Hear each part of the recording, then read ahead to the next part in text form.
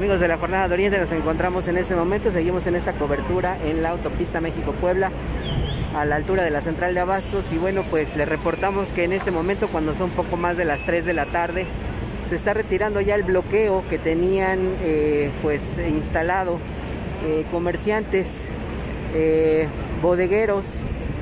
e integrantes de la administración central de la central de Abasto eh, quienes protestaban en contra de la invasión de espacios por parte de la organización 28 eh, de octubre. En ese momento eh, accedieron a retirar ya las llantas, las piedras que se encontraban en este que se encontraban bloqueando el paso vehicular desde hace ya más de dos horas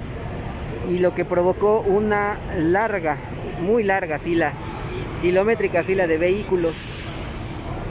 eh, en ambos sentidos de la autopista. Eh, eh, se tiene previsto por parte de los propios comerciantes que están en protesta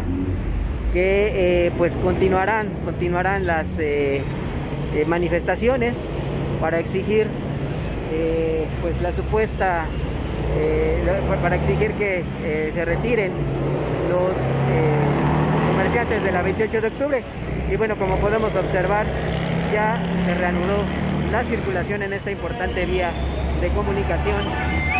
Y bueno, pues seguiremos al pendiente de este conflicto que se generó este jueves por la mañana en el más importante eh, centro de abasto del estado. Informó para la Jornada de Oriente Efraín Núñez.